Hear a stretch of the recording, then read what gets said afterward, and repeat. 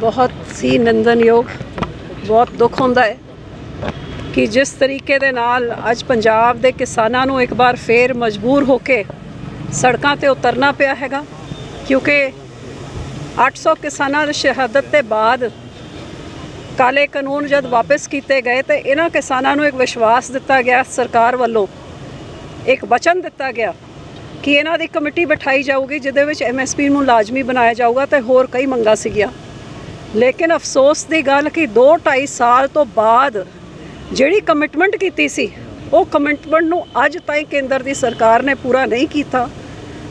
ਤੇ ਜਿਹਦੇ ਕਰਕੇ ਕਿਸਾਨਾਂ ਨੂੰ ਇੱਕ ਵਾਰ ਫੇਰ ਅੰਦੋਲਨ ਕਰਨਾ ਪਿਆ। ਤੇ ਅੱਜ ਦੁੱਖ ਦੀ ਗੱਲ ਆ ਹੈਗੀ ਕਿ ਭਾਵੇਂ ਸੂਬੇ ਦੀ ਸਰਕਾਰ ਹੋਏ, ਭਾਵੇਂ ਕੇਂਦਰ ਦੀ ਸਰਕਾਰ ਹੋਏ, ਦੋਨਾਂ ਨੇ ਸਾਡੇ ਕਿਸਾਨਾਂ ਦੇ ਨਾਲ ਇਹੋ ਜਿਹਾ ਧੋਖਾ ਕੀਤਾ ਕਿਉਂਕਿ ਜੇ ਸੂਬੇ ਦੀ ਸਰਕਾਰ ਨੇ